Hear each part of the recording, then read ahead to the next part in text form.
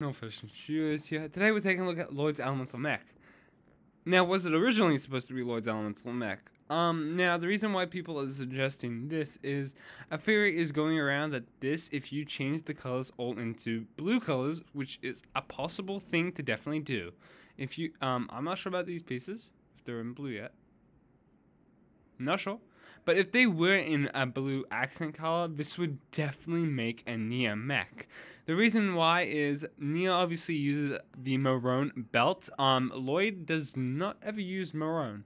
So there is a possible case that this could have originally been a Nya suit, um, elemental mech. Remember, Nya does appear a lot more in these elemental mech shorts than Lloyd does. Um, however, we do not know this for a fact. Um, if so, they would have probably changed this to silver. Um, I think that would have worked very well.